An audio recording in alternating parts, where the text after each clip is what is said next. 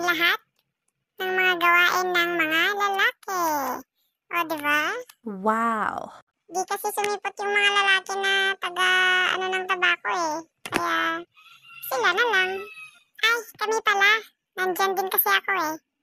Nandyan sa ano, sa gilid-gilid lang ba?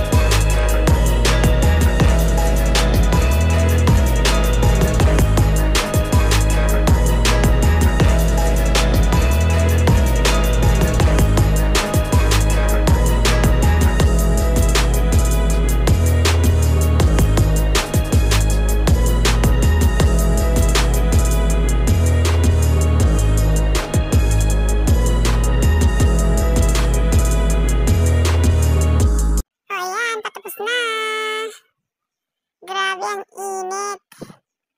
Ang daming, ano, pawis na lumabas sa katawan. Pero okay lang. Para ka na rin nag-exercise na. Sa mga gaya kong nag-exercise dyan. Hello. Ayan, pahinga na. Happy to watching. God bless us all. Bye-bye. Pahabol, ito Oh, di ba? Puro mga babae. Sus, may ang pagod. Ox lang. Like, share, and subscribe. Bye-bye!